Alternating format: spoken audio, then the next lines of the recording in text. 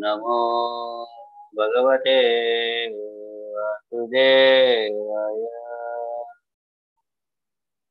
om namo bhagavate vasudevaya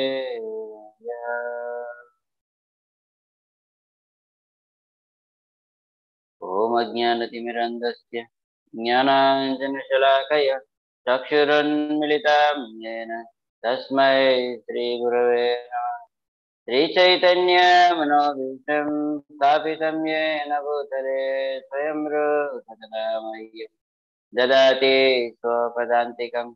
वन्देऽहं श्रीगुरो श्रीयुतापदकमलं। वैष्णव वैष्णवांश्च।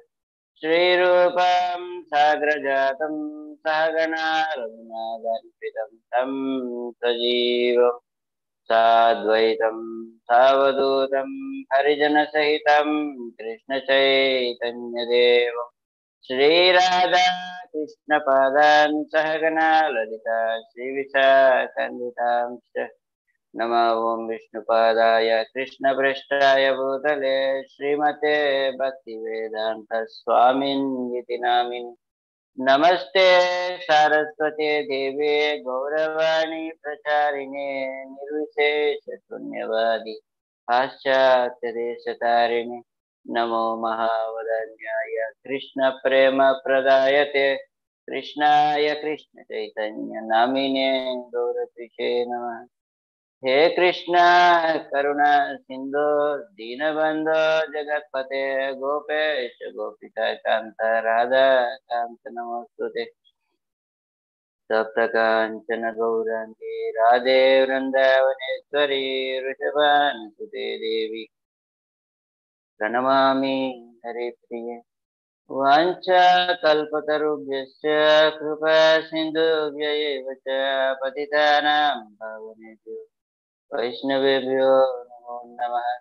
जय श्रीकृष्ण चैतन्य प्रभु नित्यानन्द। श्री अद्वैत गदाधर श्रीवासादि गौरभक्तवृन्द। हरे कृष्ण हरे कृष्ण कृष्ण कृष्ण, हरे हरे। हरे राम हरे राम राम राम, हरे हरे। हरे कृष्ण हरे कृष्ण कृष्ण कृष्ण, हरे हरे। हरे राम हरे राम राम राम, हरे हरे। हरे कृष्ण हरे कृष्ण कृष्ण कृष्ण, हरे हरे।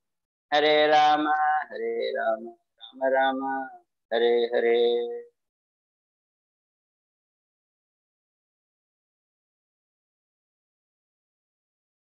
सारथ्यम् अर्जुनस्यादौ, कुर्वन् गीतामृतं ददौ। लोकत्रयोपकाराय तस्मै कृष्णात्मने नमः। संसारसागरं घोरं तर्तुमिच्छति यो नरः। गीतानावसमासद्य परं याति सुखेन सह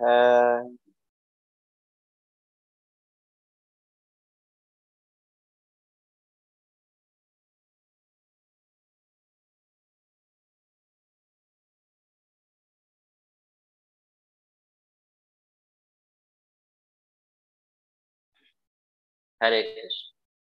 అంతర్జాతీయ కృష్ణ చైతన్య సమయం. ఇస్కాన్ మిర్రర్ రోడ్ నిర్వహిస్తున్నటువంటి భాగవత భగవద్గీత సత్సంగ సమావేశానికి చేసినటువంటి భక్తు బృందం అందరికీ కూడా స్వాగతం. అయితే గత కొద్ది వారాలుగా మనం ఈ భగవద్గీత చర్చిస్తూ ఉన్నాం. భగవద్గీతను చర్చించే మునుపు భగవద్గీత యొక్క విశిష్టతను ఒకసారి మనం గుర్తు చేసుకుందాం. భగవద్గీత యొక్క విశిష్టత భగవద్గీతను అనుసరించేటటువంటి వ్యక్తి ద్వారా ప్రకటన అవుతుంది. ఎట్లా ప్రకటన అవుతుంది అని అంటే వ్యక్తి చేసేటటువంటి ఆలోచన వ్యక్తి చేసేటటువంటి కార్యాచరణ వ్యక్తి పొందేటటువంటి అనుభవాలు ఏవైతే ఉన్నాయో వీటిని ఆధారంగా చేసుకొని భగవద్గీత యొక్క మహిమ ప్రాకట్యం అవుతుంది ఇది ఎట్లా ఉంటుంది అని అంటే ఒకసారి శ్రీల ప్రభుపాద వారి శిష్యులు ఇంద్రద్యుమ్న స్వామి మహారాజు ఇంద్రద్యుమ్న స్వామి మహారాజు కొంతమంది భక్త బృందంతో కలిసి మలేషియా యాత్రకు వెళ్ళారు. భక్తులందరినీ కూడా మలేషియా ఇస్కాన్ మందిరానికి తీసుకొని వెళ్ళారు. ఆ మలేషియా ఇస్కాన్ మందిరానికి తీసుకొని వెళ్ళినప్పుడు అక్కడ భక్త బృందం అందరికీ కూడా ఇస్కాన్కి సంబంధించినటువంటి ఒక రెస్టారెంట్ గోవిందాస్ రెస్టారెంట్. ఆ గోవిందాస్ రెస్టారెంట్లో అందరికీ కూడా ప్రసాదాన్ని ఏర్పాటు చేసింది తీసుకొని వెళ్ళినటువంటి భక్త బృందం అందరూ కూడా ఒకే చోట కూర్చొని ప్రసాదం తీసుకునేటటువంటి రీతిలో అక్కడ టేబుల్స్ అన్నిటిని కూడా ఏర్పాటు చేశారు. ఆ టేబుల్స్ అన్ని ముందుగానే బుక్ చేసుకొని పెట్టుకున్నారు. ఇలా పెట్టుకున్న తర్వాత భక్త బృందం అంతా కూడా కలిసి కూర్చున్నారు. చక్కగా ప్రసాదం అంతా కూడా స్వీకరించారు. స్వీకరించిన తర్వాత అక్కడ నుంచి అంతా కూడా భక్తులంతా కూడా లేచి వెళ్ళిపోయారు. అయితే ఆ యాత్రకు తీసుకుని వెళ్ళినటువంటి ఇంద్రజిన్న స్వామి మహారాజు ఇంకొక కొత్త భక్తుడు పూర్తి స్థాయిగా పూర్తి స్థాయిలో ఇంకా ఇస్కాన్ని అనుసరించేటటువంటి వ్యక్తి అయితే కాదు. ఇస్కాన్ అని అంటే అతనికి అనుకూలమైనటువంటి భావాలు కలిగి ఉన్నటువంటి వ్యక్తి.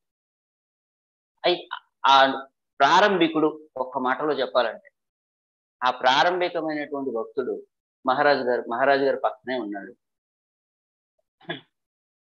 మహారాజు గారు ఆ ప్రారంభిక భక్తుడు ఇరువురు కూడా ఆ హోటల్ ఆ యొక్క రెస్టారెంట్ని నిర్వహించేటటువంటి నిర్వాహకులతో మాట్లాడుతూ ఉన్నారు. మాట్లాడుతూ మాట్లాడుతూ ఆ ప్రసాదం పూర్తయిన తర్వాత చివరిలో అరగ అరగటం కోసం అని చెప్పి అంటే జీర్ణక్రియ మెరుగ్గా ఉండటం కోసం అని చెప్పి మన ఆంధ్ర మన దేశంలో ఏ విధంగా అయితే ఆ సోంపు అనేటటువంటి తీసుకుంటూ ఉంటారు చూడండి అట్లా అక్కడ కూడా కొన్ని రకాలైనటువంటి గింజలతో తయారు చేసినటువంటి పదార్థాలు ఉంటాయి. వాటిని నోట్లో వేసుకోవడానికి సిద్ధంగా ఉన్నారు. వాటి నోట్లో వేసుకుంటూ వేసుకుంటూ చూస్తూ ఉన్నారు. అక్కడ ఆ బుక్ చేసుకున్నటువంటి టేబుల్స్ ఏవైతే ఉన్నాయో ఆ టేబుల్స్ నిండా కూడా ప్లే ఎంగిలి ఎంగిలి పళ్ళాలు ఉన్నాయి. ఆ తిన్నటువంటి ప్రసాదం అంతా కూడా ఆ టేబుల్ నిండా కూడా ఎక్కడికక్కడ చల్లా చెదురుగా పడిపోయి ఉన్నాయి. చట్నీలు పడ్డాయి ఆ అన్నం మెతుకులు పడ్డాయి. మొత్తం అంతా కూడా చాలా చూడటానికి చాలా ఆ అసహ్యంగా కనిపిస్తుంది. అయితే ఆ రెస్టారెంట్లో వడ్డించేటటువంటి వారు భక్తులే. వాటిని శుభ్రపరిచేటటువంటి వారు భక్తులే. అయితే ఒక భక్తుడు వచ్చాడు.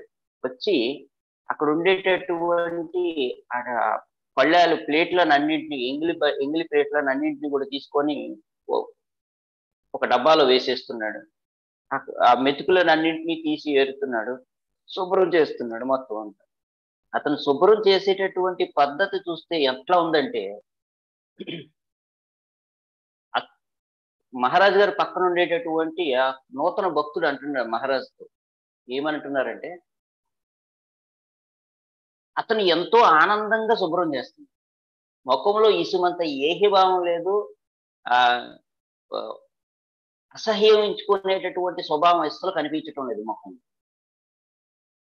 నవ్వుతూ ఆనందంగా శుభ్రం చేస్తుంది ఆ శుభ్రం చేస్తూ చేస్తూ ఎట్లా చేస్తున్నాడు అని అంటే వాటిని అన్నింటినీ ఎట్లా అయితే ఇది వరకు వాళ్ళు కూర్చున్నప్పుడు ఆ బల్లలు ఉన్నాయో శుభ్రంగా అంత శుభ్రంగా తయారు చేశారు. ఈ నూతన భక్తుడు అంటాడు అతను శుభ్రం చేస్తున్నాడా పెయింట్ వేస్తున్నాడా అని మాట్లాడు ఏదైనా చే పని చేసేమనంటే ఆ పనిలో కళాత్మక ఉట్టిపడాలి. కళాత్మకమైనటువంటి రీతిన మనం చేసేటటువంటి ఆలోచన ఉండాలి. కళాత్మకమైనటువంటి రీతిని మనం చేసేటటువంటి పనులు ఉండాలి. అంత కళాత్మకమైనటువంటి రీతిన ఆనందదాయకంగా అతను చేస్తుంది కారణం ఏమిటి? అని అంటే అతడు కళాత్మకమైనటువంటి జీవనాన్ని అవలంబిస్తూ ఉన్నాడు. కళాత్మకమైనటువంటి జీవనం అని అంటే ఏమిటి? భగవద్ భావనతో కూడినటువంటి జీవనం. భగవద్ భావనతో కూడినటువంటి జీవనం వలన చేసేటటువంటి కార్యం ఒక కర్మగా చెయ్యం. సేవ రూపేణా చేస్తాం. సేవ రూపేణా చేసేటటువంటి వ్యక్తి యొక్క హృదయంలో ప్రేమ అనేటటువంటి ఉంటుంది కనుక. ఆ ఉన్నటువంటి ప్రేమ చేత చిరాకు అసహ్యము ఏహ్య భావన అనేటటువంటిది కలగకుండా ఆనందదాయకంగా ముఖంలో చిరునవ్వుతో ఆ కార్యాన్ని చేయడం జరుగుతుంది. కృష్ణ చైతన్య అభ్యాసం చేస్తున్నటువంటి కారణం చేత ఆ భక్తుడు ఎంతో ఆనందదాయకంగా కళాత్మకంగా దాన్ని ఆ కార్యాన్ని చేస్తున్నారు భగవద్గీత ఇదే ఉపదేశం చేస్తుంది. మహారాజు గారు అంటున్నారు ఆ భక్తునితో. అతడు శుభ్రం చేస్తున్నాడా పెయింట్ వేస్తున్నాడా అని అంటే అతడు కార్యం చేస్తున్నాడు కళాత్మకంగా చేస్తున్నాడు అని భగవద్గీత భాగవతాలను అనుసరించేటటువంటి వ్యక్తి ఆ ఉపదేశాల ప్రకారం ప్రవర్తించేటటువంటి వ్యక్తి కళాత్మకమైనటువంటి జీవనాన్ని అవలంబిస్తాడు. ఆ కళాత్మకమైనటువంటి జీవనం దేనితో వస్తుంది అని అంటే భగవద్ భావనతో కూడినటువంటి కార్యం వస్తుంది.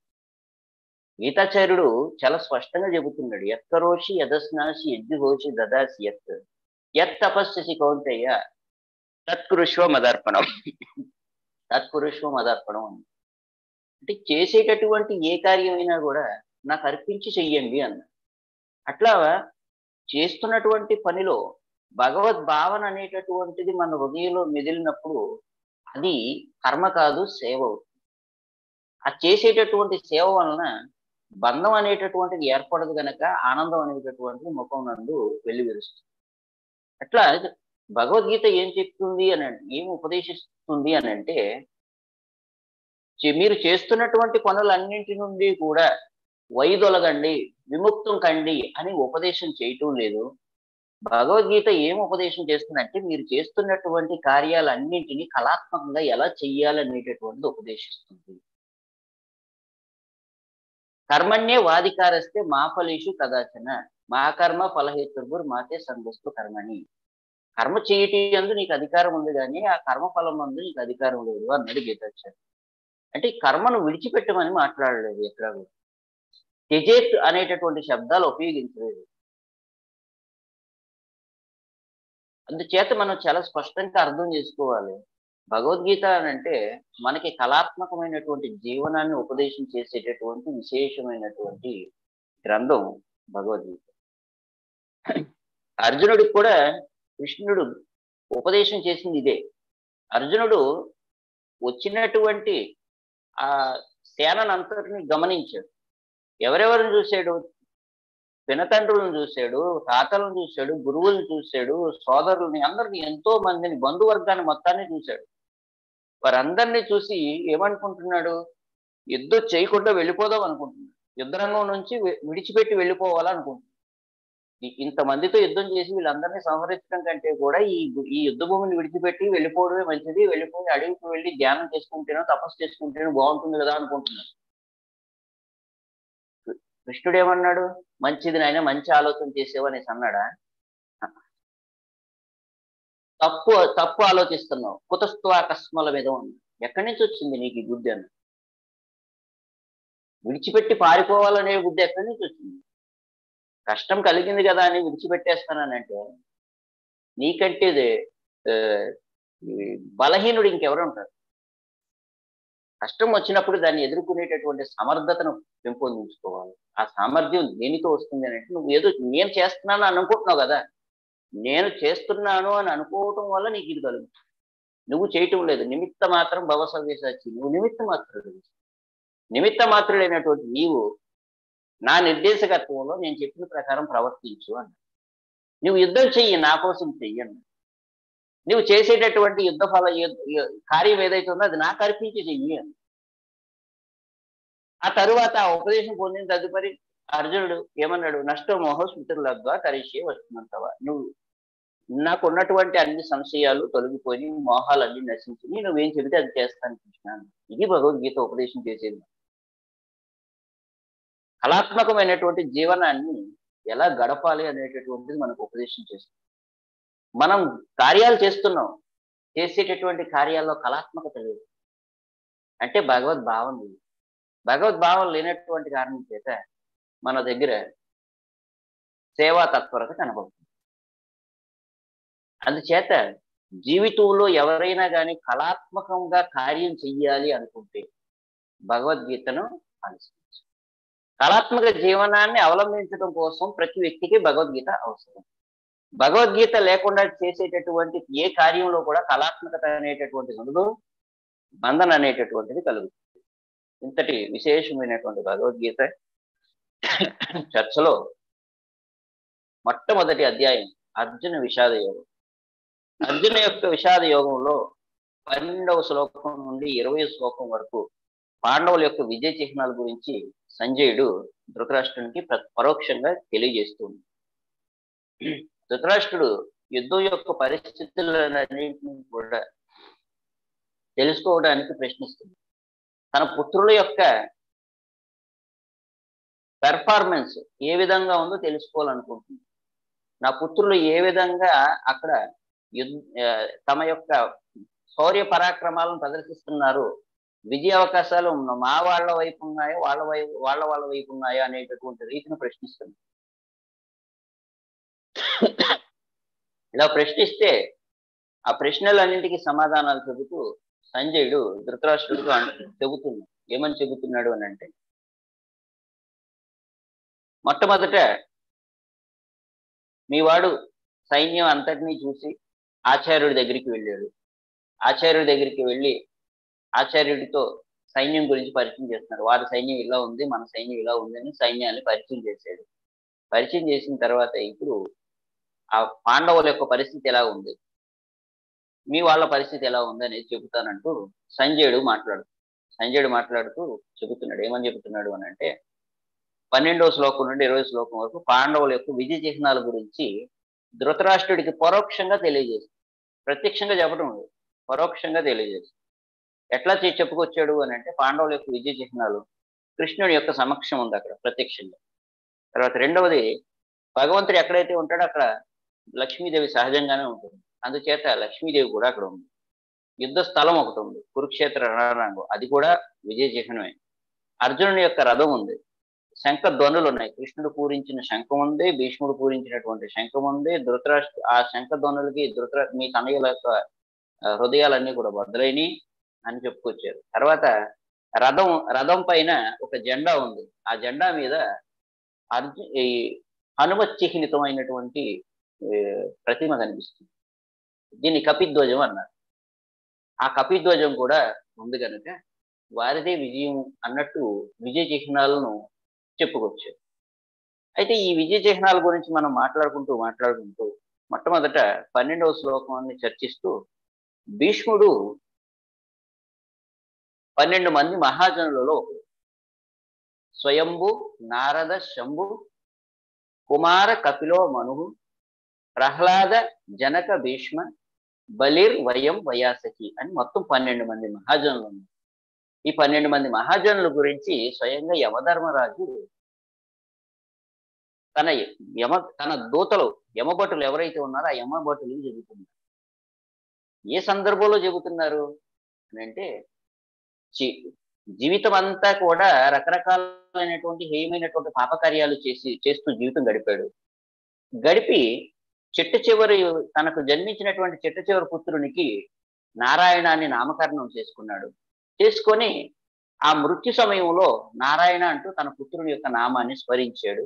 ఆ స్మరించినటువంటి అజామిలుణ్ణి తీసుకొని వెళ్ళటానికి యమదూతలు చేరితే ఆ యమదూతలని వారిస్తూ వారి అడ్డ వారిని అడ్డగిస్తూ ముగ్గురు విష్ణుదూతలు ప్రత్యక్షమయ్యారు. ఆ విష్ణుదూతలకి యమదూతలకి నడుమ గొప్ప వాదన జరిగింది. గొప్ప చర్చ జరిగింది. ఆ చర్చలో భాగంగా విష్ణుదూతలు యమదూతలతో మాట్లాడుతూ అన్నారు యమధర్మరాజు గారు మీకు ధర్మ నియమాలు చెప్పలేదా? మృత్యు సమయంలో హరినామాన్ని జపిస్తే వారి వారికి ఉన్నటువంటి సమస్త పాపాలు నశించిపోయి వారు నరకవాసం నుంచి విముక్తులు అవుతారనేటటువంటి విషయాన్ని మీకు మీ యమధర్మరాజు గారు చెప్పలేదా? అని విష్ణుదూతలను ప్రశ్నిస్తే విష్ణుదూతలు యమదూతలను ప్రశ్నిస్తే ప్రశ్నించబడినటువంటి యమదూతలు యమధర్మరాజు గారి దగ్గరికి వెళ్ళి వెళ్ళి యమధర్మరాజుని అడుగుతున్నారు. అయ్యా మేము ఇట్లా వెళ్ళాం. అజామిలోని తీసుకొని రావడానికి వెళ్ళాం. వెళితే అక్కడ ముగ్గురు దేదీప్యమానమైనటువంటి మూర్తులు శంకుచక్ర గదా పద్మాలు ధరించినటువంటి ముగ్గురు మూర్తులు విష్ణుదూతులు ప్రత్యక్షమయ్యారంట ప్రత్యక్షమై మా కార్యానికి అడ్డుపడుతుంది. అడ్డుపడుతూ యమ ధర్మ నియమాల గురించి మీ యమధర్మరాజు గారు చెప్పలేదా అంటూ మృత్యు సమయంలో భగవన్ నామం జపించేటటువంటి వ్యక్తి యొక్క పరిస్థితి గురించి వారు వివరించడం మొదలుపెట్టారు. ఇప్పుడు ఆ విషయం మీతో మాట్లాడడానికి మేము వచ్చాం మా కార్యం మేము మా విద్యుక్త ధర్మాన్ని మేము నిర్వర్తిస్తుంటుంటే అడ్డుపడ్డారు వారు ఇప్పుడు మేము చేసే ధర్మమా వారు చేసే వారు చేసే ధర్మమా? ఇది మాకు ఉపదేశం చెయ్యండి అని ప్రశ్నిస్తే యమధర్మరాజు గారు చెబుతున్నారు. నాయన ఎప్పుడు గుర్తుపెట్టుకోండి. ఇక మీద ఇప్పుడు మీకు ఒక అనుభవం జరిగింది కనుక ఎదురయ్యింది కనుక ఇట్లాంటి అనుభవం మరల మరలా మీకు ఎదురు కాకుండా మీరు ఇట్లాంటి తప్పులు చేయకుండా మీకు నేను ఉపదేశం చేస్తున్నాను. మీరు ఎవరి జోలికైనా వెళ్ళండి. వృత్తి సమయంలో హరినామాన్ని ఎవరైతే ఉచ్చరిస్తారో వారి జోలికి మాత్రం మీరు వెళ్ళి నాకు తలనొప్పి తీసుకొని రాకండి అని. మృత్యు సమయంలో అంత్యకాలంలో హరినామ స్మరణ ఎవరైతే చేస్తారో వారికి నరక నరకవాసం అనేటటువంటి తప్పిపోతుంది పూర్తిగా. వారు పూర్తిగా భగవంతుని యొక్క చరణ యొక్క సంరక్షణలోనికి వెళ్ళిపోతారు. అందుచేత మీరు వారిని మాత్రం వారిని మాత్రం మీరు ఎట్టి పరిస్థితిలోనూ స్పర్శించే ప్రయత్నం చేయకండి. వారి జోలికి మీరు వెళ్ళకండి అని ఉపదేశం చేస్తూ ధర్మం ధర్మం గురించి మాట్లాడేయాలి అంటే నిజమైనటువంటి ధర్మం ఎవరు అని అంటే సాక్షాత్ ధర్మంతో సాక్షాత్ భగవత్ ప్రణీతం. ధర్మం ఎవరు అంటే భగవాన్. ఆ భగవానుడు ఇచ్చినటువంటి ధర్మ నియమాలను ప్రవేశపెట్టేటటువంటి అధికారంలో నేనున్నానంతే. ఈ ధర్మం గురించి సాక్షాత్తు ధర్మస్వరూపుడైనటువంటి భగవంతుని గురించి ఎవరికి తెలుసు అని అంటే మొత్తం పన్నెండు మంది ఉన్నాం. పన్నెండు మందికి మాత్రమే తెలుసు ఇది యథార్థంగా ధర్మం అంటే ఏమిటి అనేటటువంటిది. ఆ పన్నెండు మంది ఎవరు అని అంటే స్వయంభు బ్రహ్మదేవుడు శం స్వయంభు నారద నారదుడు శంభు శివుడు ప్రహ్లాద ప్రహ్లాదుడు జనక జనక మహారాజు భీష్మ భీష్మదేవుడు కుమార చతుష్కుమారుడు కపిల కపిలుడు మనువు మనువు. బలిర్ బలి మహారాజు వయం నేను. వయాసకి సుఖదేవ్ గోస్వామి. మొత్తం పన్నెండు మంది ఉన్నారు. అంటూ పన్నెండు మందిని పరిచయం చేశారు. ఇలా పన్నెండు మందిని పరిచయం చేసినటువంటి మహాజనులలో ఒక మహాజనుడు భీష్ముడు భగవంతుని యొక్క యథార్థమైనటువంటి పరిస్థితి తెలిసినటువంటి వాడు భీష్ముడు. భగవంతుని యొక్క సర్వోత్కృష్టమైనటువంటి స్థితి తెలిసినటువంటి వాడు భీష్ముడు. అట్లాంటి భీష్ముడు దుర్యోధనుని పక్షంలో ఉన్నాడు దుర్యోధన పక్షంలో ఉండి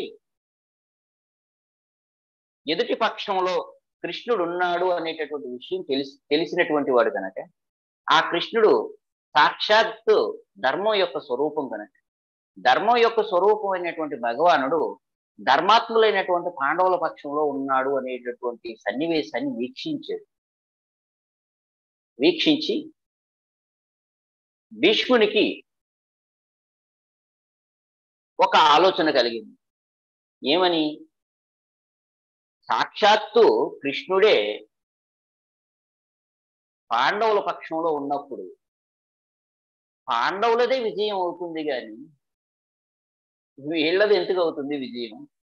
అయినప్పటికీ ముందే ఎందుకు దుర్యోధనుడిని బాధ పెట్టడం నిరుత్సాహపరచడం? ఎట్లాగా ఓడిపోయేవాడే? ఎట్లాగా ఓడిపోయేవాడే కనుక కనీసం ప్రారంభంలోనైనా కొంచెం ఆనందం కలిగిద్దాం అంటూ కలుస్తూ విజయం వారిదే అని తెలిసిన దుర్యోధనునికి సంతోషం కలిగించడం కోసం తన యొక్క శంఖాన్ని బిగ్గరగా పూరించడం మొదలుపెట్టాడు.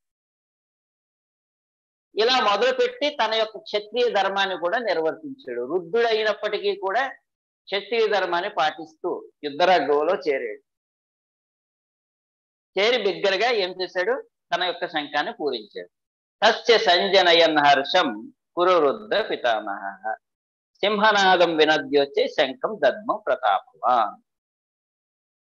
ఈ విధంగా భీష్ముడు కృష్ణుడు వారి పక్షంలో ఉన్నారని తెలిసిన విజయం వారిదే అని తెలిసిన మీ పుత్రుడికి సంతోషం కలిగించడం కోసం ఆదిలోనే ఎందుకు మీ పుత్రుని యొక్క ఆనందానికి అడ్- అడ్డుకట్ట వెయ్యడు అని భావించి ఆలోచించి ఏం చేశారు అని అంటే చక్కగా శంఖాన్ని బిగ్గరగా పూరించారు అని చెప్పుకొచ్చారు. ఇంతవరకు మనం క్రిందటి వారం తరగతిలో మనం చెప్పుకోవడం జరిగింది. అయితే ఇప్పుడు ఆ తర్వాత ఏం చెబుతున్నారు అని అంటే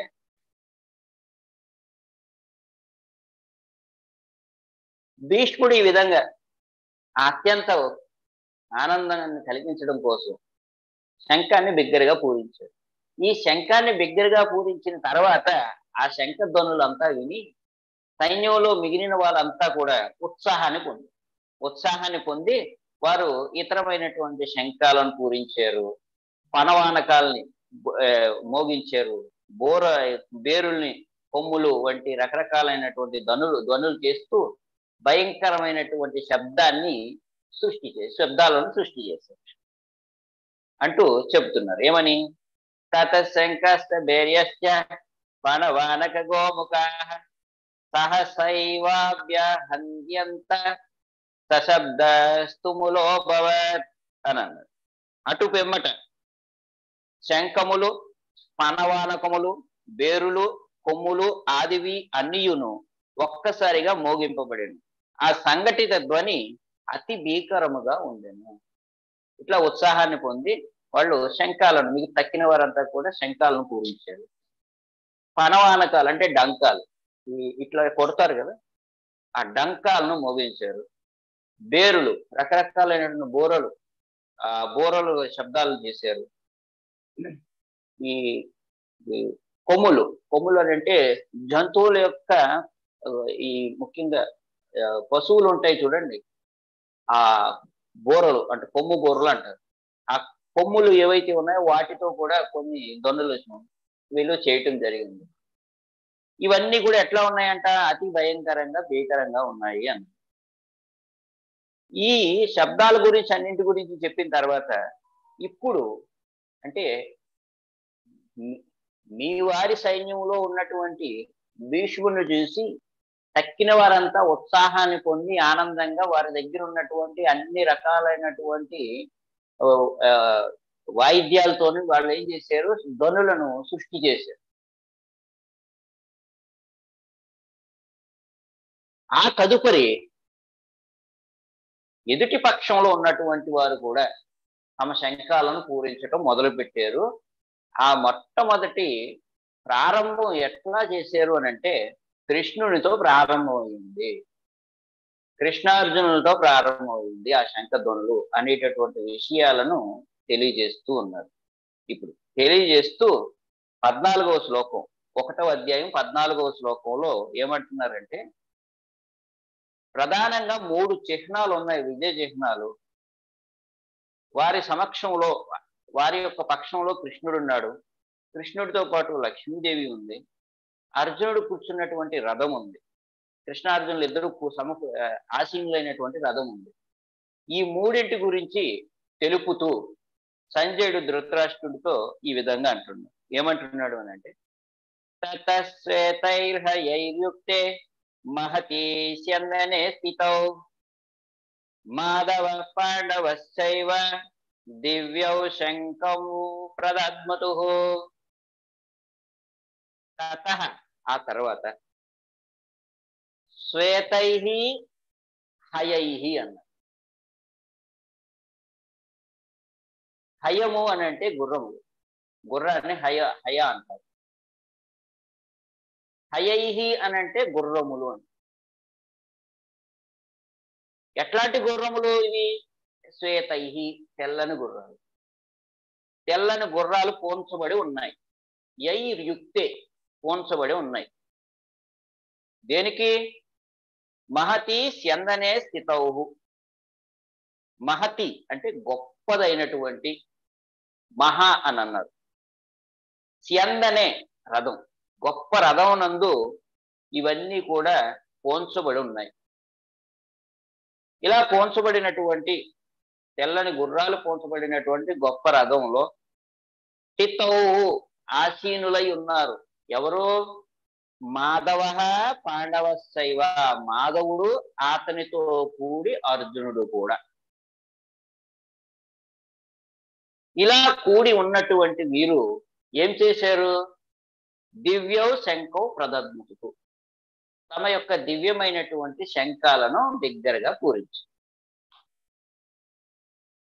తత శ్వేతైర్ యైర్యుక్తే మహతీ చందనై స్థితౌ.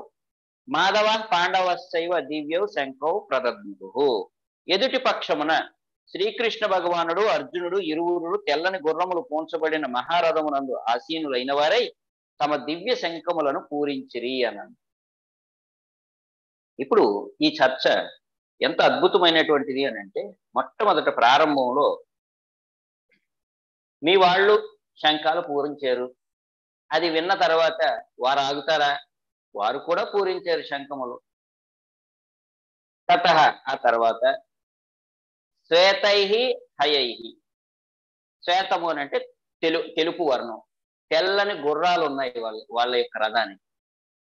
ఆ తెల్లని గుర్రములు ఏమిటి అని అంటే సైద్య సుగ్రీవ మేఘపుష్పక బలాహక అని నాలుగు గుర్రములు ఉన్నాయి. ఈ నాలుగు గుర్రములు సాక్షాత్తు కృష్ణుడివే. కృష్ణుడి యొక్క గుర్రములనే ఆ రథమునకు జోడించడం జరిగింది. కృష్ణుడు యుద్ధం కృష్ణుడు అర్జునునికి సహాయం చేస్తున్నాడు అనేటటువంటి విషయం తెలిసినటువంటి ఆ గుర్రములు కూడా కృష్ణుని కృష్ణునితో చేరిని. కృష్ణుడు ఏదైనా యుద్ధానికి వెళ్తున్నాడు అని అంటే ఆ గుర్రములతోనే యుద్ధానికి వెళ్తాడు అట్లాంటి కృష్ణుని యొక్క గుర్రములు శైవ్య సుగ్రీవ మేఘపుష్పక బలాహక అనేటటువంటి నాలుగు గుర్రములు. కృష్ణుని యొక్క సంకల్పాన్ని ఎరిగి అర్జునునికి విజయాన్ని అందించడానికి సిద్ధపడ్డాయి. ఎలా సిద్ధపడ్డాయి? మహతి స్యందనే స్థితౌహు అనంది. మహారథం నందు మహారథానికి ఇవన్నీ కూడా పోంచబడ్డాయి జోడించబడ్డాయి. ఏమిటి ఆ మహారథం అసలు? దీన్ని మహారథం అని ఎందుకు అన్నారు అని అంటే దీనికి ఒక విశిష్టత ఉంది. అర్జునుడు కలిగినటువంటి రథానికి ఒక విశిష్టత ఉంది. ఏమిటి ఆ విశిష్టత అని అంటే ఈ రథం ముల్లోకాలను జయించేటటువంటి శక్తి సామర్థ్యాలు కలిగినటువంటి రథం. ఈ రథానికి ఎక్కడి నుంచి వచ్చినాయి ఆ శక్తి సామర్థ్యాలు అని అంటే సాక్షాత్తు ఈ రథాన్ని అర్జునునికి అగ్నిదేవుడు బహుకరించాడు. అగ్నిదేవుడే బహుమతిగా అందించాడు. అగ్నిదేవుడు ఎప్పుడు ఎప్పుడు ఇచ్చాడు అర్జునునికి అని అంటే అగ్నిదేవుడు సహజంగానే ఎక్కువ ఆకలి కలిగినటువంటి వాడు. అందుచేతనే ఎక్కడైనా మీరు చూడండి ఎక్కడైనా కొద్దిగా అగ్ని రగులుకుంది అని అంటే అలుముకుని పోతుంది మొత్తం అంతా కూడా. మొత్తం అంతటిని దగ్ధం చేసేస్తుంది. అందుకని కొద్దిపాటి అగ్ని కూడా ఎక్కడ కూడా ఏర్పడకుండా జాగ్రత్త చర్యలు తీసుకుంటూ ఉంటుంటారు. ఒక్కసారి కానీ ఎక్కడైనా కానీ అగ్ని కానీ రాజుకుంది అని అంటే అది అట్లా వ్యాప్తి చెందుతుంది. మొత్తం అంతటినీ తినే తినేస్తుంది. అంటే అగ్నిదేవుడికి సహజంగానే ఆకలి ఎక్కువ ఉంటుంది. అతనికి ఉన్నటువంటి ఆకలిని తీర్చటం కోసం అగ్నిదేవుడికి కాండవ వనాన్ని దహించేటటువంటి ఒక అవకాశాన్ని కృష్ణుడు అర్జునుడు ఇరువురు కల్పించారు. అతడు చక్కగా అగ్నిదేవుడు కాండవ వనాన్ని దహించటానికి కావలసినటువంటి రీతిలో అర్జునుడు కృష్ణుడు ఇరువురు కూడా సహాయం చేశారు. ఆ కాండవన దహనం అంతా పూర్తయిపోయిన తర్వాత ఎంతో సంతుష్టుడైనటువంటి అగ్నిదేవుడు అర్జునుడితో ఇంత చక్కగా నాకు నా యొక్క ఆకలిని తీర్చారు మీరు నాకు సహకరించారు. అన్ని సంతృప్తుడైనటువంటి అగ్నిదేవుడు అర్జునుడికి తన యొక్క రథాన్ని ప్రధా బహూకరిస్తాడు. ఆ రథంతో పాటు గాంధీవాన్ని అక్షయ తునీరాలను కూడా ఇస్తాడు. అక్షయానంటే తరగనటువంటి తునీరములు కలిగినటువంటి. ఆ అక్ష ఆ తునీరంలో నుంచి ఎన్ని ఆ బాణములు తీస్తే అన్ని బాణములు వస్తూనే ఉంటాయి. అందుకని అక్షయ తునీరములు అన్నారు. అక్షయ తునీరాలను అందించాడు. ఒక గాంధీవాన్ని ఇచ్చాడు. రథమును కూడా అందించాడు. ఇట్లా అందుకున్నటువంటి అర్జునుడు అగ్ని అని అంటే ముల్లోకాలను జయించేటటువంటి శక్తి కలిగినటువంటిది అగ్ని. అట్లాంటి అగ్నిదేవుడు బహుకరించినటువంటి రథం ఏదైతే ఉందో ఆ రథము కూడా ముల్లోకాలను జయించేటటువంటి శక్తి సామర్థ్యాలు కలిగినటువంటి ఎన్ని రకములైనటువంటి శక్తివంతమైనటువంటి ఆయుధాల యొక్క ప్రభావం దాని మీద పడ్డా ఆ రథముకు ఇసుమంత డ్యామేజ్ కూడా జరగదు. కొద్దిపాటి బ్రేకేజ్ కూడా దానికి జరగదు. అంటే విరిగిపోవడం కానీ పగిలిపోవడం కానీ ఇట్లాంటివి ఏమీ జరగవు. అంత గొప్ప రథం అది. ఆ రథం నందు ఎవరైనా ఆసీనుడై యుద్ధం చేశారు అని అంటే వారికి విజయం తప్పను అట్లాంటి రథంలో విజయాన్ని అందించేటటువంటి కృష్ణునితో కూడి అర్జునుడు ఉన్నాడు. అందుచేతనే మహతి శందనే స్థితౌ అని చెప్పన్నారు అట్లాంటి రథంలో ఉన్నాడు అయ్యా తర్వాత మాధవ ఎవరితో ఉన్నాడు? మాధవ మాధవునితో కూడి ఉన్నాడు. మాధవ అంటే ఎవరు? కృష్ణుడు. మాధవ అంటే ఏమిటి అర్థం? లక్ష్మీపతి అని అర్థం. కృష్ణుడు ఎక్కడైతే ఉంటాడో అక్కడ లక్ష్మీదేవి సహజంగా ఉంటుంది. ఎందుకు అని అంటే భర్త ఎక్కడైతే ఉంటాడో భార్య కూడా అక్కడే ఉంటుంది. కాబట్టి కృష్ణుడు లక్ష్మీపతి అయినటువంటి మాధవుడుగా అతను అక్కడ ఉంటే అతనితో పాటు లక్ష్మీదేవి కూడా అతని ఉపస్థితమై ఉంది. సా- అర్జునుడికి విజయాన్ని అందించడం కోసం మాధవునితో పాటు అతని యొక్క శక్తి అయినటువంటి లక్ష్మీదేవి కూడా అక్కడే ఉందయ్యా. ఇక మీ వాళ్ళు ఎలా గెలుస్తారు? ముల్లోకాలను జయించేటటువంటి రథం ఒక పక్క. విజయాన్ని అందించడానికి కృష్ణుని యొక్క గుర్రములు ఇంకొక పక్క. విజయాన్ని అందించడం కోసం కృష్ణుడే సాక్షాత్తు వారి యొక్క సమక్షంలో చేరాడు. ఆ కృష్ణునితో పాటు కృష్ణుని యొక్క శక్తి కూడా చేరింది. ఆధ్యాత్మిక పరిపూర్ణమైనటువంటి ఆధ్యాత్మిక శక్తి లక్ష్మీదేవి కూడా అక్కడే ఉంది. ఇక మీ వాడు ఎట్లా జయిస్తాడయ్యా? జయస్తు పాండు పుత్రానం ఏషాం పక్షే జనార్దన. కృష్ణుడు సాక్షాత్తు అక్కడ ఉన్నప్పుడు ఏషాం పక్షే జనార్దన. జనార్దనుడే అక్కడ ఉంటే జయస్తు పాండు పుత్రానం పాండవులదే విజయం. నీ వారిది అనుకోవద్దు నువ్వు.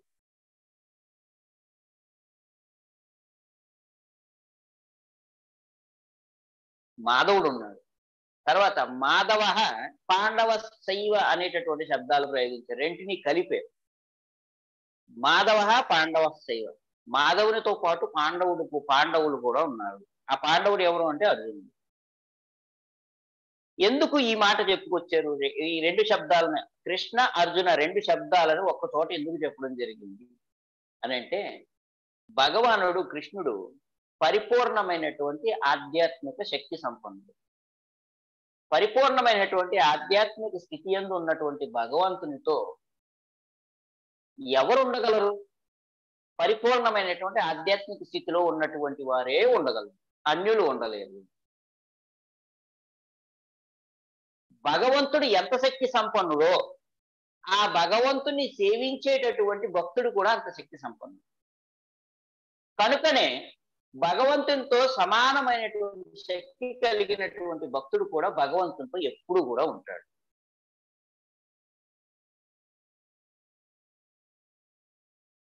అర్జునుడు కృష్ణుడి యొక్క సాహచర్యాన్ని పొందేడు.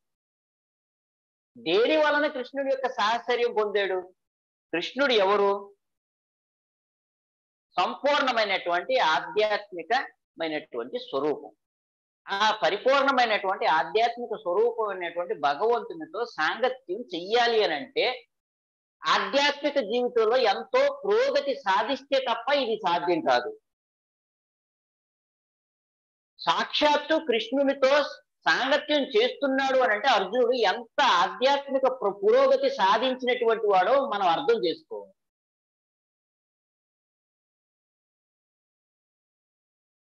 అగ్ని అగ్నితో కలుస్తుంది. నీరు నీటితో కలుస్తుంది. అగ్ని అగ్నితో కలిసినట్లు నీరు నీరుతో కలిసినట్లు పరిపూర్ణమైనటువంటి ఆధ్యాత్మిక సంపన్నుడైనటువంటి భగవానునితో పరిపూర్ణమైనటువంటి ఆధ్యాత్మిక సంపన్నమైనటువంటి భక్తుడైనటువంటి అర్జునుడు కలిశాడు. అందుచేతనే మాధవ పాండవ శైవ అని ప్రయోగించారు శబ్దాలు. భగవంతునితో ప్రత్యక్ష సమక్షాన్ని అనుభవిస్తున్నటువంటి వారు సామాన్యులు కారు అనేటటువంటి విషయాన్ని తెలియజేస్తుంది. ఇదే విషయాన్ని సుఖదేవ గోస్వామి కూడా చెబుతుంది భాగవతంలో వస్తుంది ఈ ప్రస్తావన దశమ స్కంధంలో. అగాసుర వధ జరిగిపోతుంది. అగాసుర వధ జరిగిపోయిన తర్వాత అగాసుర వధతో పాటు ఆ పూర్తయిన తర్వాత ఆ కృష్ణుడి యొక్క ఆ యొక్క గోపబాలుడు స్నేహితులు ఉన్నారు కదా ఆ స్నేహితులను ఉద్దేశించి సుఖదేవ గోస్వామి ఒక మాట మాట ఏమంటారంటే భగవానుడు అందరికీ కూడా తన యొక్క సాంగత్యాన్ని ఇవ్వరయ్యా. ఒక్కొక్కరికి ఒక్కొక్క రీతిన అనుభూతం అనురుస్తూ ఉంటుంటాడు తన యొక్క స్థితి గురించి స్థితికి సంబంధించినటువంటి విషయాన్ని. ఇత్తం శతం బ్రహ్మ సుఖానుభూత్య. ఇత్తం శతం బ్రహ్మ సుఖానుభూతి యోగులు ఎవరై యోగులు ఎవరైతే ఉన్నారో వారు భగవంతునిలో ఉండేటటువంటి బ్రహ్మ సుఖాన్ని అనుభూతి చెందుతూ ఉంటారు. దాస్యం కథానం పరదైవతేన. దేవతలు ఎవరైతే ఉన్నారో వారు భగవంతునికి సేవకుల వలె పనిచేస్తూ ఉంటుంటారు యజమానిగా భగవంతుని స్వీకరించుంటారు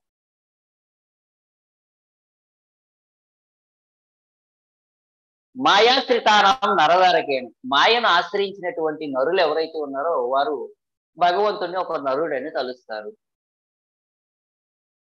ఒక సామాన్యమైనటువంటి నరుడుగా కనిపిస్తాడు. సాకం విజహృ కృతపుణ్య పుంజ భగవంతునితో ప్రత్యక్షంగా సాక్ష్యరసాన్ని అనుభవించాలి అని అంటే స్నేహాన్ని పొంది ఉండాలి అని అంటే వారు కృతపుణ్య పుంజులు అయి ఉండాలి అనేకమైనటువంటి జన్మలలో కృత అంటే ఉత్తీర్ణులై ఉండాలి. దేనిలో ఉత్తీర్ణులై ఉండాలి? అనేక జన్మలలో కృష్ణునికి సంబంధించినటువంటి పుణ్య శ్రవణ కీర్తన కృష్ణుడికి సంబంధించినటువంటి కథలను శ్రవణ కీర్తనలు చేస్తున్నారు. అట్లాంటి వ్యక్తులు ఎవరైతే ఉన్నారో వారు కృష్ణుడితో సాక్యాన్ని అనుభవిస్తారు. అటువంటి వారిలో అర్జునుడు ఉన్నాడు.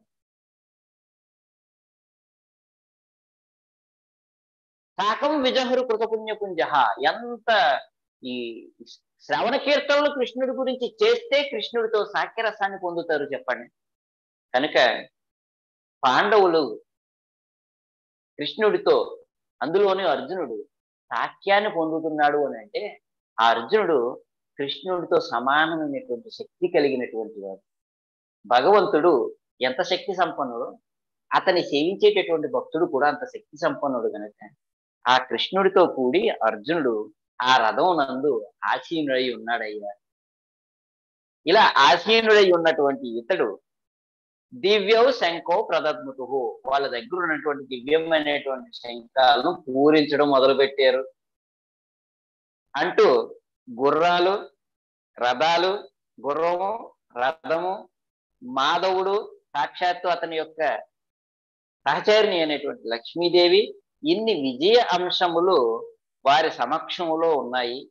వారి సమక్షంలో ఉన్నటువంటి కారణం చేత విజయం వారిదే తప్ప మీ వారిది ఎట్లా అవుతుంది అని చెబుతూ తతశ్వేతైర్యైర్యుక్తే మహతీ చందనే స్థితౌ మాధవ పాండవ శైవ దివ్యౌ శంకౌ ప్రదగ్ముతు తరువాత ఎదుటి పక్షమున ఉన్నటువంటి శ్రీకృష్ణ భగవానుడు అర్జునుడు ఇరువురును తెల్లని గుర్రములు పోంచబడిన మహారథము నంద ఆసీనులైన వారే తమ దివ్య శంఖములను పూరించారు అంటూ సంజయుడు ధృతరాష్ట్రుడికి తెలియజేశాడు.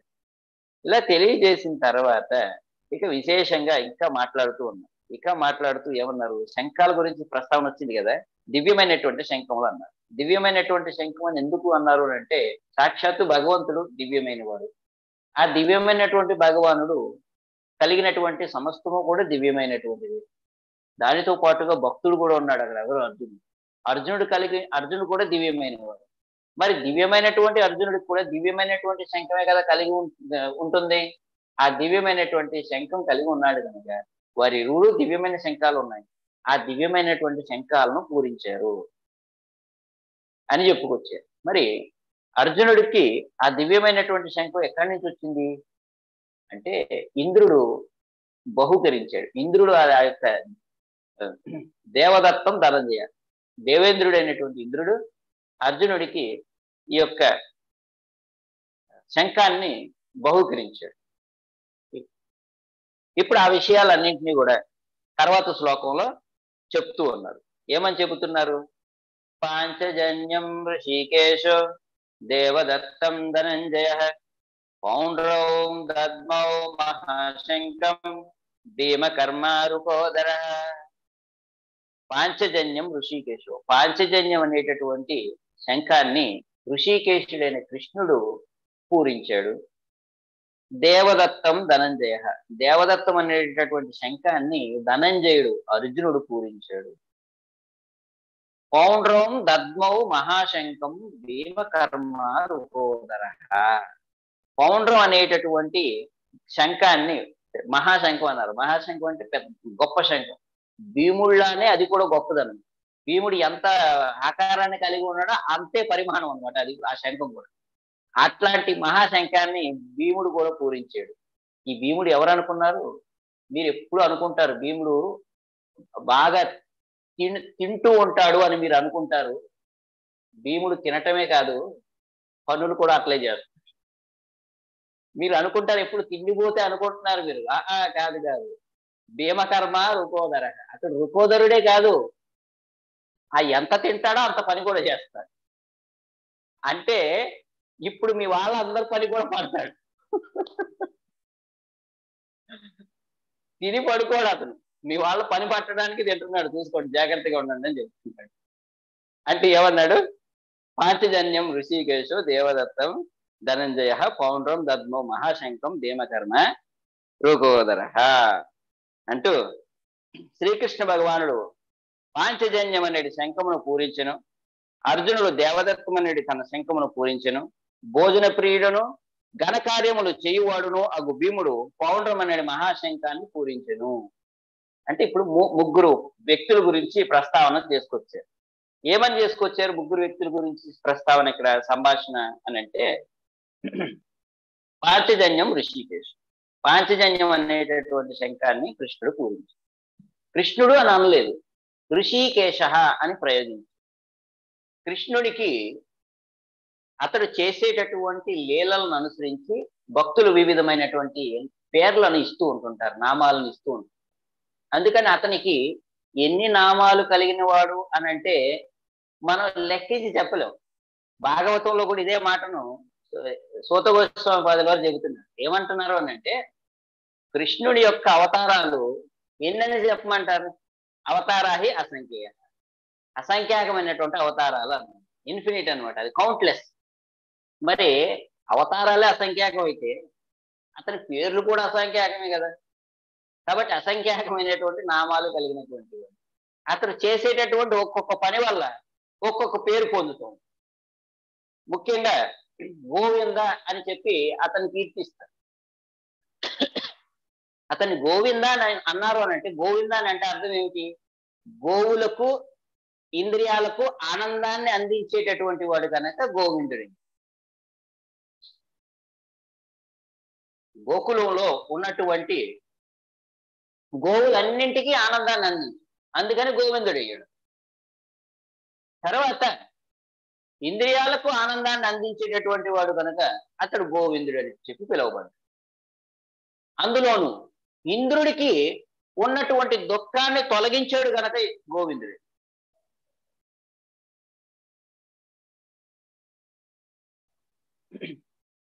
ఇట్లా గోవింద అనేటటువంటి నామాన్ని అదే కృష్ణుడిని పాండురంగ అని పిలుస్తారు. పాండురంగ అని అంటే ఏమిటి? రంగ అని అంటే అందగాడు. ఎట్లాంటి అందగాడు అని అంటే పాండు అని అంటే తెలుపు. అంటే తెల్లని అందగాడు అంటే కృష్ణుడు. అదేమిటి? కృష్ణుడు తెల్లగా ఎంచుకుంటాడు కృష్ణుడు నల్లనవాడు కదా. నీలిమేఘ వర్ణం అని చెబుతారు. దట్టమైనటువంటి మేఘాల యొక్క వర్ణం ఉంటుంది కదా అట్లాంటి వర్ణం కృష్ణుడు. అట్లాంటి వర్ణాన్ని కలిగినటువంటి కృష్ణుడిని పాండురంగ అని అంటున్నారు. తెల్లని అందగాడు అంటున్నారు. ఎట్లా తెల్లని అందగాడు అయ్యాడు కృష్ణుడు అని అంటే ఆ కృష్ణుడు గోవులన్నింటినీ కూడా తీసుకొని వెళ్ళిపోతాడు. ఉదయం అవగానే గోవులన్నింటినీ తీసుకొని వెళ్తాడు. సాయంత్రం అవగానే గోవులను తీసుకొచ్చేస్తాడు. అయితే ఆ తీసుకొని వెళ్ళి తీసుకొని వచ్చేటప్పుడు సన్నివేశం ఉంటుంది చూడండి. గోవులన్నీ నడుచుకుంటూ వెళ్తూ ఉంటుంటే కొన్ని గోవులు పరుగులు పెడుతూ ఉంటుంటాయి కొన్ని గోవులు నడుస్తూ ఉంటుంటాయి. ఆ వాటి యొక్క ఆనందంతో చేసేటటువంటి పరుగుల వల్ల ఆ బృందావనంలో ఉండేటటువంటి ధూళి మట్టి ఉంది చూడండి. అదంతా కూడా పైకి లేస్తుంది. ఆ లేచినటువంటి ఆ ధూళి అంతా కూడా కృష్ణుడి యొక్క దేహం నిండా కూడా ఒక పౌడర్ లాగా అద్దబడుతుందండి. ఆ అద్దబడినటువంటి గోధువుడి చేత కృష్ణుడు అలంకరించబడి ఉంటాడంట. అలా అలంకరించబడినటువంటి కృష్ణుడు తెల్లగా కనిపిస్తాడు. అసలే అందగాడు అందులోనూ ఇప్పుడు పౌడర్ రాసుకుని ఉన్నాడు. ఎట్లాంటి పౌడర్ అంటే గోధువులు గోధువులతో మొత్తం నిండిపోయి ఉన్నాడు ఆ కృష్ణుడు. అందుచేత అతన్ని పాండురంగ అని పిలుస్తాడు అంటే అతనికి ఏ కార్యం చేసినా ఒక పేరు వచ్చేస్తుంది. ఇక తర్వాత వాసుదేవ అని పిలిచారు కృష్ణుడు. వసుదేవునికి తనయుడైనటువంటి కారణం చేత వాసుదేవ అన్నారు సమస్త విశ్వాలను కూడా సృష్టించేటటువంటి స్థితిలో తాను ఉన్నటువంటి కారణం చేత వాసుదేవ అని అన్నారు సమస్త విశ్వములను తన యందు వశంగా కలిగినటువంటి వాడు కనుక వాసుదేవ అన్నారు సమస్త విశ్వములకు ఆశ్రయమైనటువంటి వాడు వాసుదేవుడు. కనుక అతన్ని వాసుదేవ అని పిలిచారు. తర్వాత అదే భగవంతుడిని దేవకీ నందన అన్నారు. దేవకీ దేవికి పుత్రుడైనటువంటి కారణం చేత దేవకీ నందనుడు అన్నారు. యశోద నందన అన్నారు. యశోదకు పుత్రుడైనటువంటి కారణం చేత యశోద నందన అన్నారు. నందనందన అన్నారు. నంద మహారాజుకి తనయుడైనటువంటి కారణం చేత నందనందన అని పిలిచేది. తర్వాత పార్థసారథి అని. పార్థసారథి అని ఎందుకు సంబోధించారు పార్థ అంటే అర్జునుడు. అర్జునుడికి సారథి అయినటువంటి కారణం చేత పార్థసారథి అయ్యాడు. ఇక తర్వాత ఋషికేశ అన్నారు ఈ రోజు శ్లోకం. ఈ పదిహేనవ శ్లోకంలో ఏమన్నారు? పాంచజన్యం ఋషికేశో అన్నారు. ఋషికేశ ఋషికేశ అని అంటే అర్థం ఏమిటి? ఋషిక అంటే ఇంద్రియం. ఈశ అని అంటే ఇంద్రియాలన్నింటికీ కూడా ఈశుడు యజమాని. ఇంద్రియాలన్నింటినీ నియమించేటటువంటి వాడు భగవానుడు కృష్ణుడు. అందుచేత ఋషికేశ అనేటటువంటి శబ్దంతో ఇక్కడ చెప్పడం జరిగింది. సర్వ ఇంద్రియాలకు ప్రభు అయినటువంటి కారణం చేత కృష్ణుని ఋషికేశ అని చెప్పి సంబోధించి అందులోనూ కృష్ణుడు ఎట్లా ప్రవర్తిస్తాడు అని అంటే గీతలో చెబుతున్నాడు. ఏదామాం ప్రబద్యంతే తాం స్తదవ్యం భజామ్యహం అని. ఎవరెవరు ఏ విధంగా తనకు శరణాగతి పొందుతారో వారిని ఆ విధంగా అనుగ్రహిస్తాను అని ఉపదేశం చేసి. అదే ఉపదేశం ప్రకారం ఋషికేశునిగా ప్రవర్తిస్తాడు. ఒక మాటలో చెప్పాలంటే జీవుల యొక్క శరణాగతిని బట్టి వారి యొక్క ఇంద్రియాలను నియమిస్తూ ఉంటాడు భగవంతుడు ఇక అందులోను అర్జునుని వంటి భక్తులు ఉంటారు కదా అర్జునుని వంటి భక్తుల యొక్క ఇంద్రియాలను ఎప్పుడు కూడా తానే నియమిస్తూ ఉంటాడు.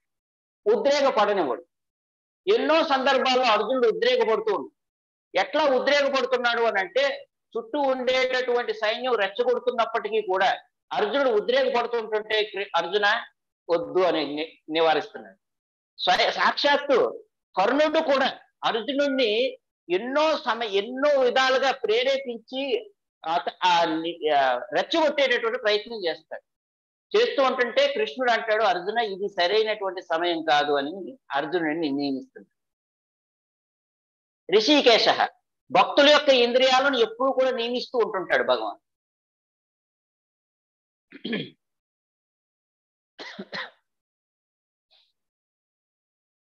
అయితే కర్ణుడు ఎంతో శక్తి సామర్థ్యాలు కలిగినటువంటి కారణం చేత అతడితో యుద్ధం చేయటానికి సమ సమాయుక్తం అయ్యాడు. అర్జునుడు. అయితే అర్జునుడిని నియమిస్తూ ఉన్నాడు ప్రతి సందర్భంలో కూడా. అర్జున ఇది సరైనటువంటి సమయం కాదు. అర్జున ఇది సరైనటువంటి సమయం కాదు. అర్జునుడు ప్రయోగించాలని ఎన్నో రకాలైనటువంటి అస్త్రాలను ఉపయోగించాడు. అయితే కూడా ఆ అస్త్రం ఇప్పుడు ఉపయోగించొద్దని చెప్పాడు. స్వయంగా కర్ణుడి నుంచి కర్ణుడు వేసేటటువంటి బాణ పరంపర నుంచి ఆ కృష్ణుడే అర్జునుడిని రక్షిస్తుంది కర్ణుడు వేసేటటువంటి బాణ పరంపరకు ఎవరు నిలబడలేదు. అర్జునుడు కూడా నిలబడలేడు. అర్జునుడు కర్ణుడు ముందు నిలబడ్డాడు అని అంటే కారణం కృష్ణుడి యొక్క భక్తుడైనటువంటి కారణం. అదొక్కటే కారణం. అర్జునుడే గాని కృష్ణుని యొక్క భక్తుడు కాకపోతుంటే కర్ణుడిని కూడా ఆపు నిలువరించు. అంత శక్తి సంపన్న అంటే ఇక్కడ ప్రధానమైనటువంటిది ఏమిటి అని అంటే భక్తి అనేటటువంటిది ప్రధానమైనది. భక్తుడు అనేటటువంటి భక్తుడు అనేటటువంటి వాడు ప్రధానమైనది. భగవంతుని యొక్క భక్తుడు ఎటువంటి శక్తి సంపన్నుడైనా కూడా నియమించగలుగుతాడు శాసించగలుగుతాడు అధిగమించగలుగుతాడు. సాక్షాత్తు భగవద్భక్తుడు అయినటువంటి అర్జునుడు అత్యంత శక్తి సంపన్నుడు శక్తిశాలి అయినటువంటి కర్ణుడిని నియమిస్తున్నాడు. కర్ణుడి పైన ఆధిపత్యాన్ని ప్రదర్శిస్తుంది వారిద్దరి నడుమ జరిగేటటువంటి యుద్ధ సన్నివేశాలు ఎట్లా ఉంటాయంటే చుట్టూ ఉండేటటువంటి సైన్యం కూడా వారు చేసేటటువంటి యుద్ధాన్ని ఆపేసి వాళ్ళు ఎట్లా యుద్ధం చేస్తున్నారు అనేటటువంటిది చూస్తూ ఉన్నారంట అంత అద్భుతంగా ఉంటుంది వారి యొక్క యుద్ధం. ఇద్దరు గొప్ప గొప్ప విలువిద్యకారులే. కర్ణుడు గొప్ప చక్కగా నైపుణ్యంగా విలువిద్య నేర్చుకున్నటువంటి వాడు. అర్జునుడు కూడా గొప్ప విలువైన విలుకాడే. ఇరువురి నడుమ యుద్ధం జరుగుతుంది. కర్ణుడు వేస్తున్నటువంటి ఆ యొక్క బాణ పరంపర బాణ పరంపర ఎట్లా ఉంది అంటే అర్జునుడు యొక్క రథాన్ని కప్పి వేసేస్తుంది. అర్జునుడు వేసేటటువంటి బాణాలు ఉన్నాయి చూడండి. ఆ బాణాలన్నీ కూడా కర్ణుడు యొక్క రథాన్ని కప్పేసేస్తుంది ఎట్లా వేస్తున్నాడు? కర్ణుడు వేసేటటువంటి ప్రతి బాణాన్ని కూడా అధిగమిస్తూ వేధిస్తూ ఇతడు కర్ణుడి యొక్క రథాన్ని మొత్తాన్ని చుట్టుకుంటు చుట్టు చుడుతున్నాడు.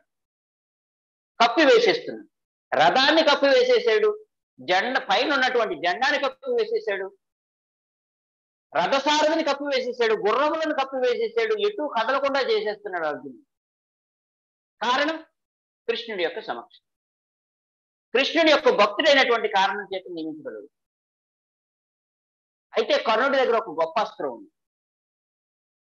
ఆ అస్త్రాన్ని ఎవరి పైన అయితే ప్రయోగిస్తాడో ఆ వ్యక్తి తప్పనిసరిగా సంహరింపబడతాడు.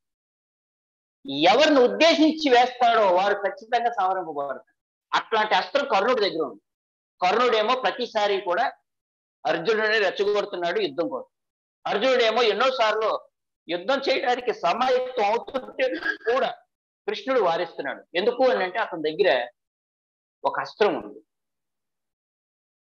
ఎవరిని ఉద్దేశించి అస్త్రాన్ని ప్రయోగిస్తారో వారు తప్పనిసరిగా సంహరింపబడతారు. సాక్షాత్తు ఇంద్రుడి చేత ఒసగబడినటువంటి అస్త్రం అది. ఆ అస్త్రం అతని దగ్గర నుండి తొలగిపోయేంత వరకు కూడా కృష్ణుడు అర్జునుడిని నియమిస్తూనే ఉన్నాడు. ఋషికేశ.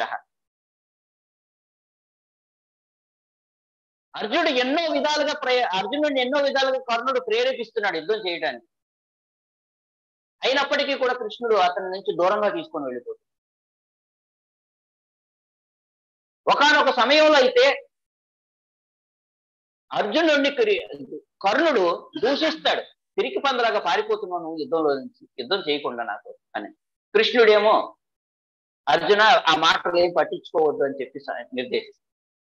కృష్ణ చూడు ఎట్లా మాట్లాడుతున్నాడు? ఎంత కర్కశంగా మాట్లాడుతున్నాడు చూడు.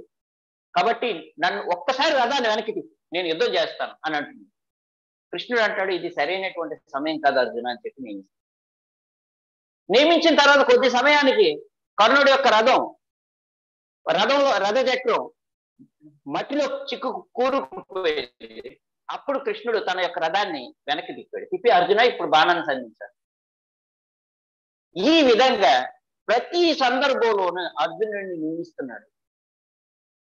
తర్వాత రిషికేశ అని అన్నారు కదా ఇక్కడ ఈ శ్లోకంలో భీముడిని కూడా ప్రశ్నించారు. భీముడికి కూడా తొందరపాటి. మీరు అనుకోవద్దు. ఏమని? సంజయ్ సంజయుడు అంటున్నాడు ధృతరాష్ట్రుడు ధృతరాష్ట్ర అర్జునుడు రెచ్చిపోతాడు. మీ వాళ్ళు మాట్లాడేటటువంటి మాటలకి అని అనుకోవద్దు. భీముడు బుద్ధిని ఉపయోగించకుండా ఇష్టం వచ్చినట్టు ప్రవర్తిస్తాడని అనుకోగండి అక్కడ ఋషికేశుడిగా కృష్ణుడు ఉన్నాడు. కృష్ణుడు వారి యొక్క ఉద్రేగాలన్నింటినీ అలిచి వాళ్ళను నియమిస్తూ ఉంటుంటాడు. వారి ఇంద్రియాలన్నింటినీ కూడా నియమిస్తూ ఉంటాడు కనుక ఋషికేశుడిగా ఉన్నాడు. అందులోనూ భక్తులుగా వారిద్దరూ కూడా కృష్ణుడికి పరిపూర్ణ శరణాగతి పొందినటువంటి వారు కనుక వారిని ఖచ్చితంగా నియమిస్తాడు. ఇష్టం వచ్చినట్లు వాళ్ళైతే ఇంద్రియాలను యథేచ్ఛగా విడిచిపెట్టి యుద్ధం అయితే చేయు కృష్ణుడు చాలా జాగ్రత్తతో వారి యొక్క ఇంద్రియాలు అన్నింటినీ వారి యొక్క అదుపులో ఉంచి యుద్ధం చేయిస్తున్నాడు అందుకని జాగ్రత్తగా ఉండాలి మీరు అని చెప్పుకోవచ్చు పాంచజన్యం ఋషికేశ. అట్లాంటి ఋషికేశుడు కృష్ణుడు పాంచజన్యం అనేటటువంటి శంఖాన్ని పూరించాడు. ఇక తర్వాత దేవదత్తం ధనంజయ.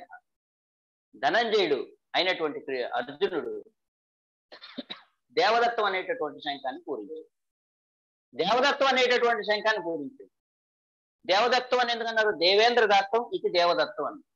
దేవేంద్రుడైనటువంటి ఇంద్రుని చేత వసగబడినటువంటి శంఖం ఈ యొక్క దేవదత్వం అనేటటువంటి శంఖం. అంత గొప్ప గొప్పదైనటువంటి శంఖం. ఎందుకు అని అంటే అర్జునుడు స్వ స్వర్గలోకానికి వెళ్ళినప్పుడు అక్కడ ఉండేటటువంటి వారి వారి వారి పైన అర్జునుడు విశేషమైనటువంటి ధనుర్విద్య ధనుర్విద్యను ప్రదర్శితం చేశాడు. పైగా వచ్చినటువంటి అర్జునుడిని నియమించడం కోసం అర్జునుడిని ఆకర్షించడం కోసం ఎంతో మంది దేవతా స్త్రీలను అర్జునుడి దగ్గరికి పంపిస్తే కూడా అర్జునుడు ఇసుమంత చెల్లించకుండా వారి యొక్క సౌందర్యానికి ముగ్ధుడు కాకుండా అర్జునుడు తనను తాను నియమించుకున్నాడు ఎందుకు భక్తుడైనటువంటి కారణం?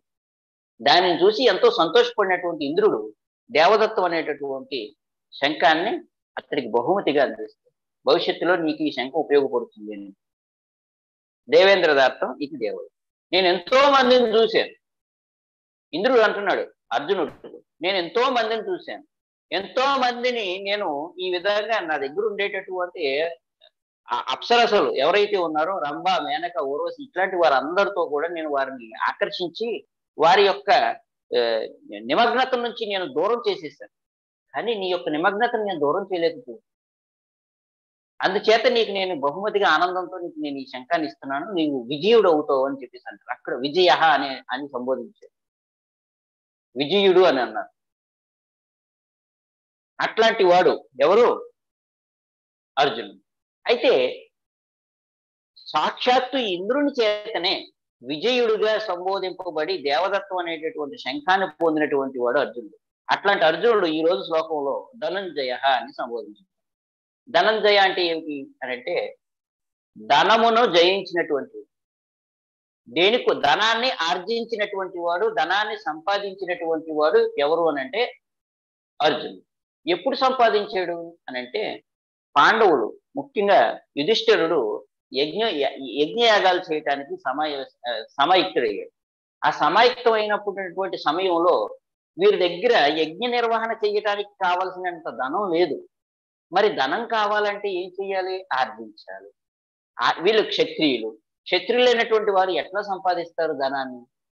అప్పుడు అటువంటి సమయంలో యుధిష్ఠరుడు యజ్ఞ నిర్వహణ చేయటానికి కావలసినటువంటి ధనాన్ని ఆర్జించి యుధిష్ఠరుడికి సహాయం చేసినటువంటి వాడు కనుక అర్జునుడు ధనంజయుడిగా పిలువబడ్డాడు.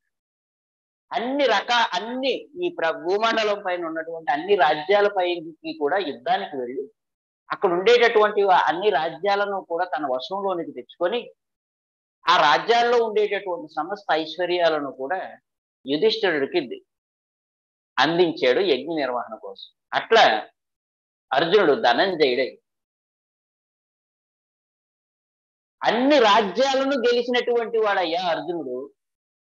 అన్ని రాజ్యాలను గెలిచినటువంటి అర్జునుడు ముందు మీ వాళ్ళు ఎట్లా గెలుస్తారు? అంటూ ఇంక పరోక్షంగా ఇంకొక మాటను చెప్పుకొచ్చాడు సంజయుడు ధృతరా ధృతరాష్ట్రుడు.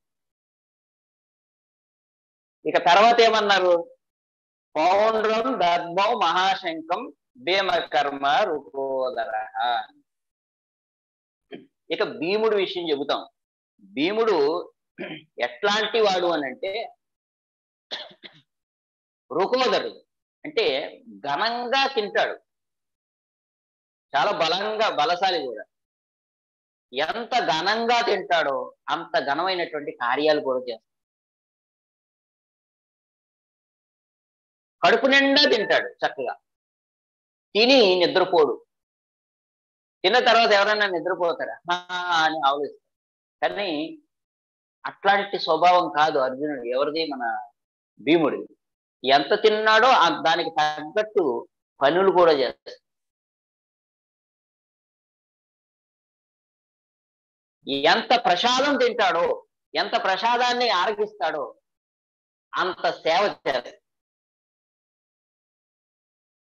అర్జున్ భీముడు భగవదర్పితమైనటువంటి ఆ ప్రసాదాన్ని ఆహారంగా తీసుకుంటాడు. అది ఎంత ఉంటుంది అని అంటే ఒక పర్వతం అంత అయినా కూడా ఆహారం తీసుకునే స్వీకరించగలడు. అంత ఆహారం తీసుకుని ఘనంగా తింటాడు. ఎంత తిన్నాడో అంత సేవ చేస్తాడు. అంత పని చేస్తాడు. అందుకని ఈ ఈ మాటను చెబుతూ ప్రభుపాదులు వారు అంటారు. భీముళ్ళాగా ఇస్కాన్లో పంచి ఇస్కాన్లో ఉన్నటువంటి భక్తులు ఉండాలి అని అంటారు. చక్క ఘనంగా ప్రసాదం తీసుకోండి. ఘనంగా ప్రసాదం తీసుకొని ఘనంగా సేవలు చేయండి అన్నారు భీముళ్ళాగా ఉండండి. భీమకర్మ రూపోదర రూపోదరులాగా ఉండండి.